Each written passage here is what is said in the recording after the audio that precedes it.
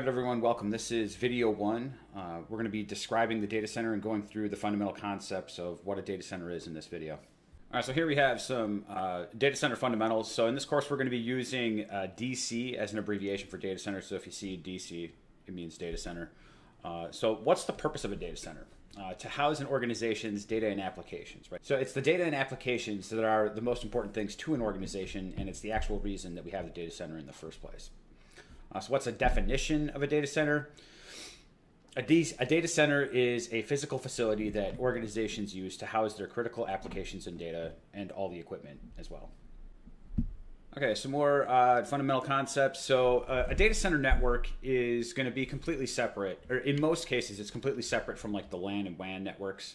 Um, it's just important to, to understand that it's not using the common equipment as, as the normal network.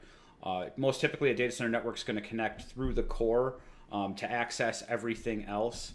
Um, that does vary a little bit. Some of the smaller networks um, or, or, branch networks, like if you have a you know kind of a mini data center at uh, a branch, those are going to you know often share equipment. But in most cases, it's completely separate. Uh, so north-south traffic and east-west traffic. These are just terms that you hear quite a bit. North-south traffic goes in and out of the data center, while east-west traffic stays in the data center. Okay, so now we're out here on uh, Cisco's documentation. Um, I've Google searched for Cisco what is a data center, and it takes us to this page. Now, part of the reason that I'm doing this is because I want to uh, you know, show everyone what Cisco's definitions are, right? How they would explain the basics of what a data center is, since you know we're going to be taking a Cisco test. So up here we have their generic definition of a data center. At its simplest, a data center is a physical facility that organizations use to house their critical applications and data, which is pretty much what we said earlier.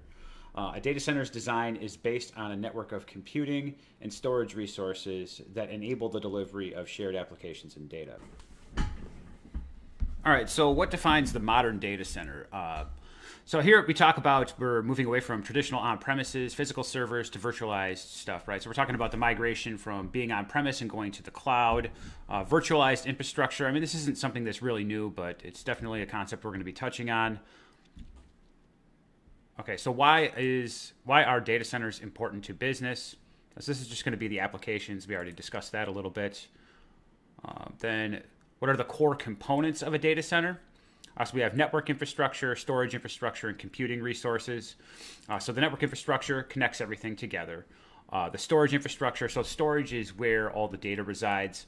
Uh, computing resources, we're mostly talking about CPU and memory here, but that's actually where the applications reside. This is an important concept.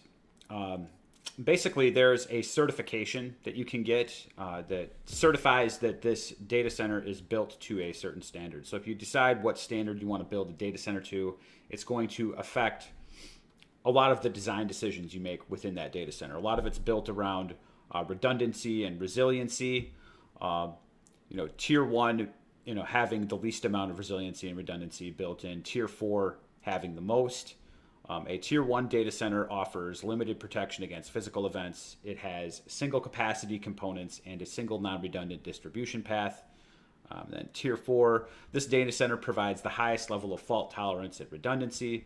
Uh, redundant capacity components and multiple independent distribution paths enable concurrent maintainability and one fault anywhere in installation without causing downtime.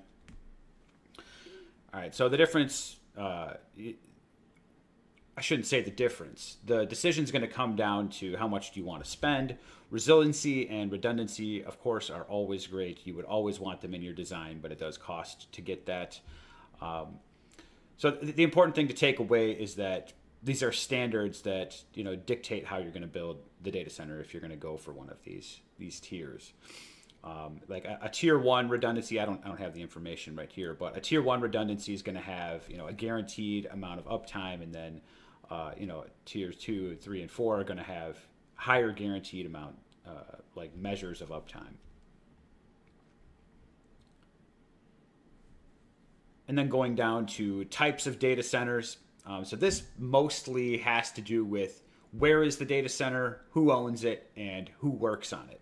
So for enterprise data centers, uh, they're owned, built, and operated um, on the or at the enterprise um, and by the enterprise. So they they own the physical facility. Um, everything that is done in the data center is done by uh, people who work in that organization.